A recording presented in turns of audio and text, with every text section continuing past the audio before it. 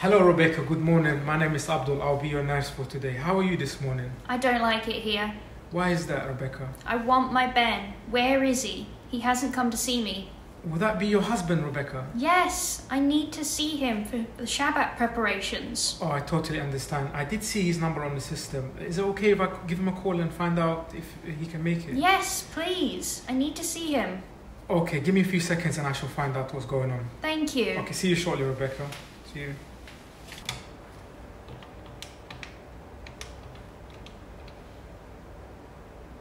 Oh, no answer. Oh, hello. Hello, Ness. How are you doing? Very well. How are you, Albert? Uh, not too bad. Ah, I'm so sorry. I couldn't come in yesterday. It was Shabbat. But then today I brought some kosher cakes for Rebecca. Do well to give it to her on her lunch break. Oh, that's really nice of you. I'm sure she will love it. By the way, Albert, I wanted to ask you have you heard of um, Rebecca's husband lately? We've been trying to get hold of him. Rebecca's husband. Yeah. Can I speak to you for a moment? Oh, of course you can. Give us one moment, Rebecca. I'll be back in a I'll second. see you soon, Rebecca.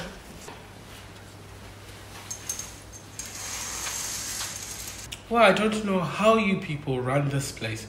Rebecca's husband has been dead for two years now. Oh, The only living relative is the daughter Ruth, who lives two hours from here.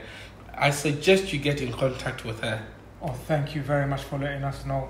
I do apologize for the situation with our husband. Thank you.